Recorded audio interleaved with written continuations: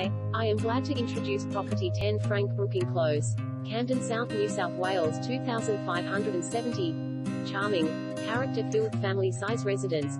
Peacefully hidden away in a whisper-quiet street, this modern entertainer boasts exceptional quality throughout.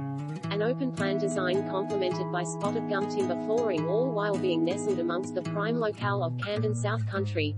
Custom-built 5 years young home on a 744 SQM block of land, 4 large bedrooms, walk-in robe and ensuite to master, open-plan family, meals with fireplace, great natural light, exemplary gas kitchen fitted with stainless steel appliances, family-size bathroom, ducted air conditioning, high ceilings, separate kids' rumpus and lounge room. Paneled feature walls, private alfresco entertaining overlooking landscape gardens, large yard with level lawns, opens to neighboring reserve, double lock-up garage with remote and internal access, moments to Camden Central, schools, parks and walking trails.